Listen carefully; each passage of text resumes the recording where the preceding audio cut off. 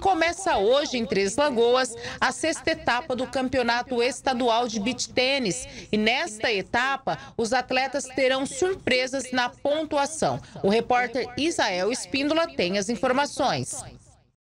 Pois é, Ana Cristina, a partir de sexta-feira, vários atletas de diversas regiões de Mato Grosso do Sul, inclusive do interior paulista, estarão aqui em Três Lagoas para esta sexta etapa do estadual.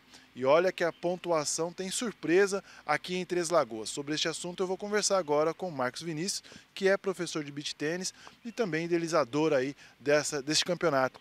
Qual que é o diferencial aí para essa etapa aqui em Três Lagoas? O maior diferencial em relação às outras cidades do interior é que nós vamos ter uma pontuação igual à capital, ou seja, serão mil pontos sendo colocados em jogo aqui para os atletas. Quantos atletas estão estimados vir aqui competir neste final de semana? Entre atletas do estado e do interior do, aqui do estado de São Paulo, serão em média 300 atletas. É um esporte que realmente chegou para ficar e cada vez mais crescendo, Marquinhos. Ah, com certeza. Hoje, cada ano, né, vai se fortalecendo, novas cidades vão tendo novos pontos, com isso a modalidade vai se fomentando. Aqui em Três Lagoas temos atletas aí brigando pelo título? Sim, tem vários atletas, né, como a Luísa, a professora Simone, né, entre outros atletas que estão bem colocados, que possivelmente serão convocados novamente para estar representando nosso estado lá em Fortaleza em novembro.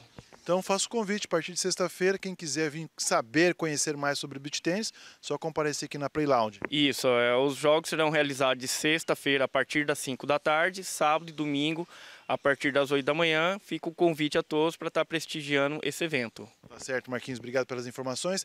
Vale lembrar também que as competições acontecem no masculino, no feminino e também no misto. Então o convite está feito. Volto aos estúdios.